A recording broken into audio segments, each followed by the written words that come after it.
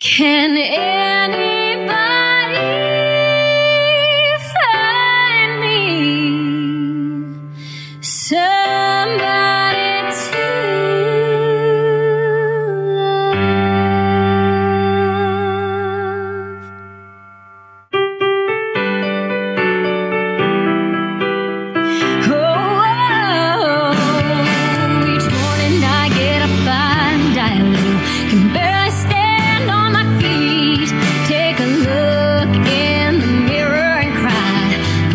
should do.